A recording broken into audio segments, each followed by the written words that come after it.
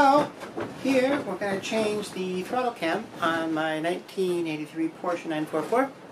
Um, this one here is the original one that came with the car. Um, I suppose maybe it's good for fuel efficiency or maybe comfort a little bit. I don't know. Because what happens is, is that when you press on the gas pedal, for the first third, it has this, it's a little slow and then only after that does it pick up. Which means that you know the response is like this.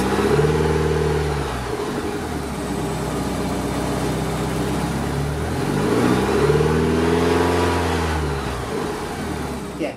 So what we're going to do is replace this with one that is just around so that as soon as you step on the gas, woo, it's it responds to one to one just immediately. There's none of this little slow delay bit. So I'm going to replace this nut here. This is the 13 millimeter nut, really loose. You see, thing almost finger loose. And I'm going to lose this nut. It's going to drop down, and I'll never pick it up again. And I'll lose it. Ah. Okay, I didn't lose the nut. Okay, I'm going to slide this off gently think there's a little washer here. Yeah, a little washer. I think you call it spanner in the UK. I don't know. But anyway, so put that there. So here, this just comes off. It slides off there. Perfect. Awesome. And here's my new shiny one that I got from Partworks uh, in Germany. It's awesome. So we're just going to put it on here er, in a little slot. Awesome. And then let's wrap this around. We'll just fit this on here. And they've got the holes all in the right spot so it just sits down. Awesome. So, I'm going to put on a little washer that I didn't lose. And now I'm going to put on the nut that I didn't drop down somewhere in the engine, breaking it all.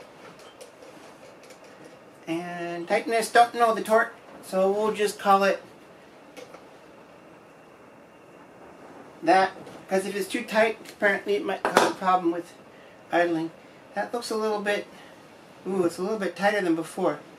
So I think we're gonna have to do is adjust the tension so that it doesn't idle too high because it looks because right now you're pulling back a bit already on the gas so it's like your foot's on the gas so it's gonna idle. So we can fix this there.